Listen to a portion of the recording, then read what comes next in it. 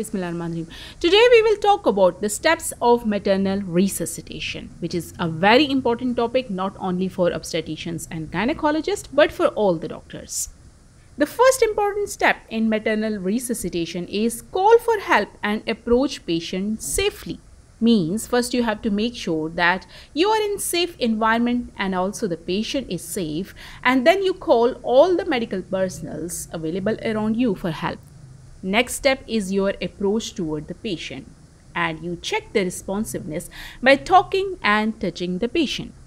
A very important step in maternal resuscitation is to relieve pressure on inferior vena cava and for that apply manual uterine displacement or tilt toward the left by using wedge.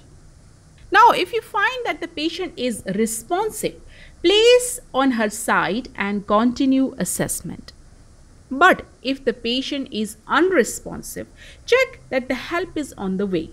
Open airway plus check breathing. The position should be head, head tilt and chin lift position. So in this position, assess for 10 seconds.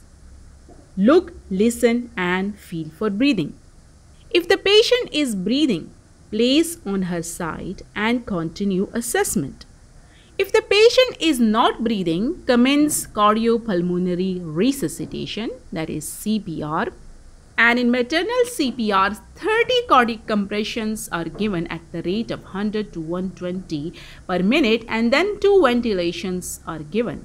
Then repeat at the ratio of 30 to 2 ratio and continue this until help arrives and advanced life support can be administered in maternal resuscitation, it's very important to make arrangements for emergency cesarean section aiming to deliver within 5 minutes if no response to CPR.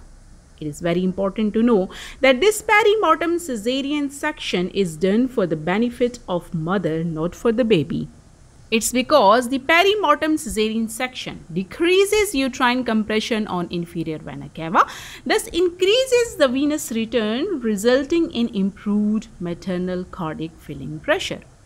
Now, this is the whole algorithm of maternal resuscitation. The first step is call for help and approach patient safely. Check responsiveness by talking and touching and apply manual displacement or tilt her toward her left side by using the wedge.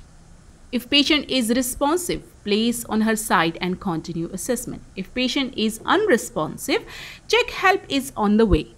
Open airway plus check breathing. Head tilt and chin lift. Assess for 10 seconds. Look, listen and feel for breathing.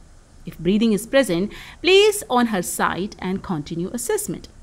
If no breathing, then commence CPR cycle at the rate of 30 compression and 2 ventilations. Compressions are given at the rate of 100 to 120 per minute.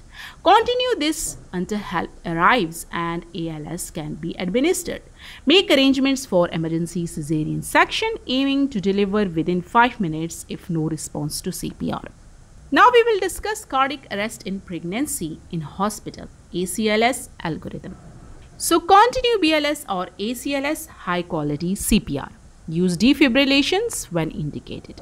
Use other ACLS interventions like epinephrine. Assemble maternal cardiac arrest team. Consider etiology of the cardiac arrest and this include 4H and 4Ts.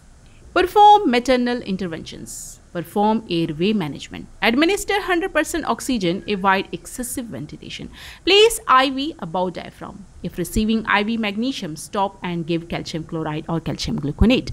Continue BLS and ACLS high quality CPR defibrillation when indicated other ACLS interventions like epinephrine.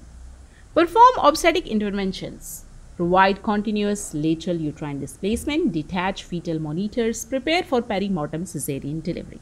Perform perimortem cesarean delivery if no return of spontaneous circulation in 5 minutes. In that case, consider immediate C-section. And neonatal team to receive neonate. Now, this is the whole ACLS algorithm in pregnancy resuscitation.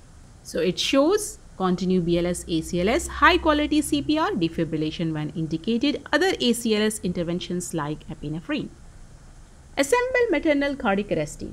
Consider etiology of the cardiac arrest.